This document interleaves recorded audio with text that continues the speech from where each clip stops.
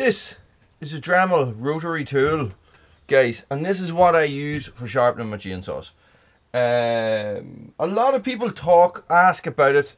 Uh, a lot of people give off about it.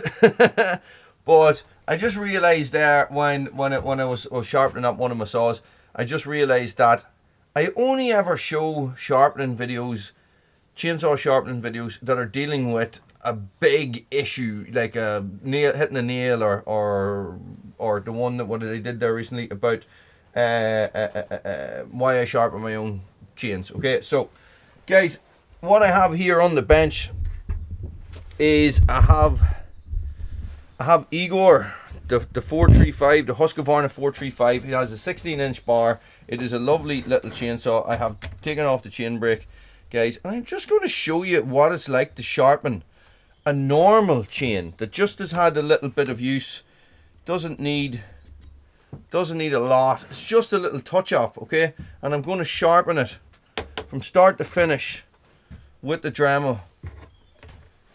With the the stylus you call this and with the grinding stone the diamond grinding stone that I buy on eBay guys okay? Stay tuned. Okay so people will say that you come from this side then skip one and come from this side and then turn your saw around and do the other ones. Okay. I have I did that at the start. I'm finding it makes no difference all right? So I always mark my first one even though I don't really need to. What I have on most chains guys you're going to have a little line that is going to tell you what angle you need to put your stone at and I just follow that line. And what I do is I do a little in the gullet one two three like that and then I turn and I follow the angle okay? I'm going to do it all starting right now okay? The whole chain. Here we go. No speed up or nothing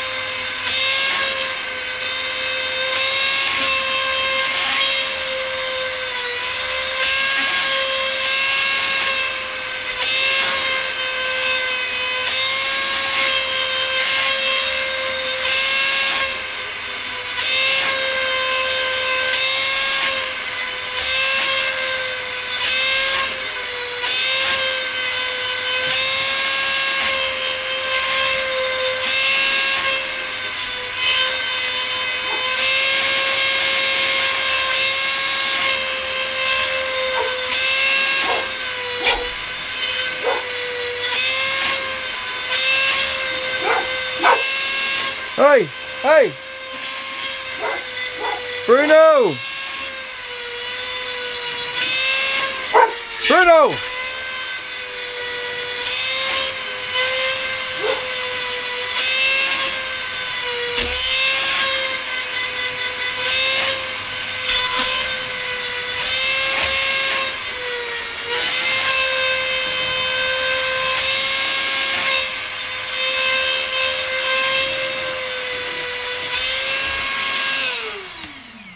And that is done.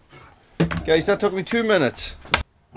My neighbour is out walking his dog, and Bruno loves those dogs, but he just loves barking even more. Guys, that took me two minutes, I think. I look back on it, but I'm nearly sure it's two minutes. And that is pretty much as long as that takes, okay? Now, when you buy the Dremel, it does come with a little angle guide and stuff like that, guys. And I did use that at the start, but when you have the angle guide, you cannot use the stylus. It only fits on to the to the main head of your Dremel here, guys. And uh, I have to say, I have used this system for at least four years, guys. One of my most popular videos on Wooly's World has got like 75,000 views or something like that. And it is probably my first ever use of this Dremel chainsaw sharpening thing. And it's a shockingly bad video. It's really bad. It's just, but, uh, it, you know, but it's out there and I will leave it out there. Guys, so I just thought I would, you know, show you how you do it on a saw on a no, on a saw that has seen normal use okay normal use for me it's very rarely that I'll go into steel or anything like that saying that I'm about to go out with the saw and I'll bet you I'll put it into like 50 pieces of steel guys thanks for watching. Stay frosty